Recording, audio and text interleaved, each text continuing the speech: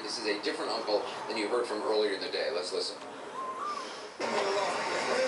Come on. Can you just tell us I didn't do this, okay? Sure, of course. They're just trying to no, you can't eat that. That's not We food. said everything. My brother said, I said. You can't eat already it. took these cameras from me. You what you want from me? Please leave me alone, huh? I wanna go myself. So he'll eat you instead. Oh, he wants to escape. That's what this is. Couple What's he after? He's trying to escape. Oh, is that what he's trying?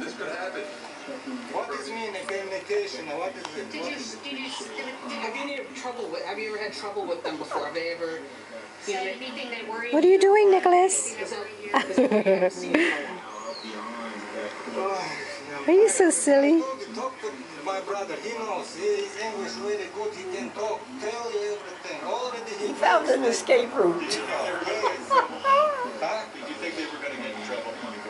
Of course it's trouble. What?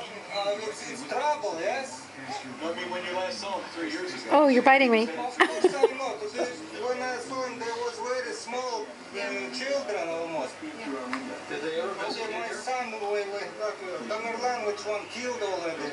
He was maybe, I don't know, 15, 16, I don't remember now, you know?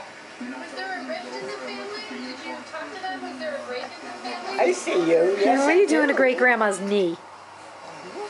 Oh, you Oh, got it. there he is. There's my love. Okay? Yeah, sure. Okay, what, what you said? He's trying to get up. You want to sit down?